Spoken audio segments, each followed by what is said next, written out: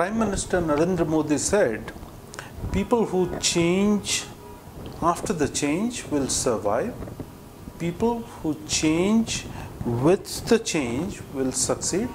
And people who change, who cause the change will lead. So things are changing in our environment faster than ever before. So the point is that if we are able to foresee the kind of changes which are coming, we'll be better prepared to deal with it. Over the last few decades, the recruitment industry and the jobs have been going through a lot of transformation.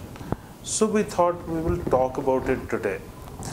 I think over the next uh, few years, we are likely to, to see more and more changes. We are already seeing the amount of change, automation, robotics, artificial intelligence are bringing in, and hence the way the jobs are changing. So I think in the next few years, companies are going to do more and more of these changes. We do not need a full-time driver now. We can rent a driver just for the trip. If we are looking for music, we are looking, we love adventure, we do not need to really photography, we don't really need to own the equipment, we can rent them. So companies are renting software, systems, people and all of that. So we think that going forward, there will be only two kinds of jobs. One, there will be people who will come in just for a short period of time like a bubble. They will be there within the organization. They will do their work and go away. And the second kind of people who will be there really for the long term those who will direct and leverage on these asset bubbles or the resource bubbles which stay within the organization.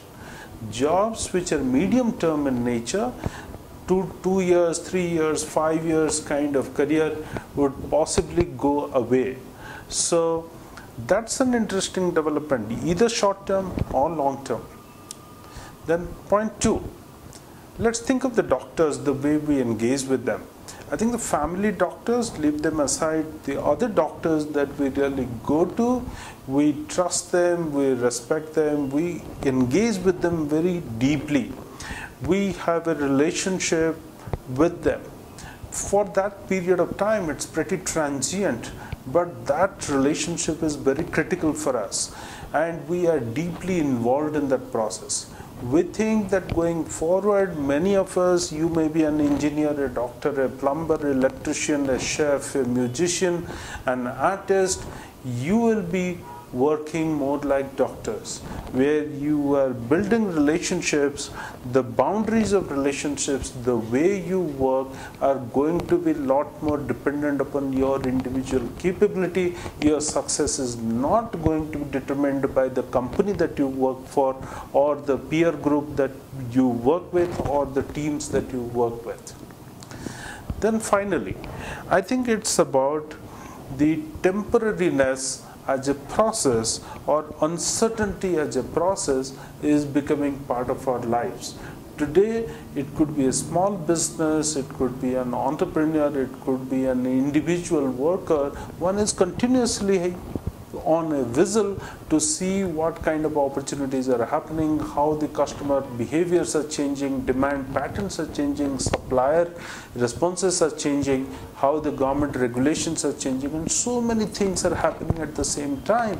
So looking at all of that, we are trying to modify the way we engage with the market.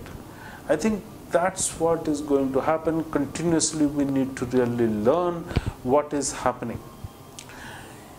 Some of us think about the time, we divide our time in three buckets. One, time for work, time for family, and time for me as an individual.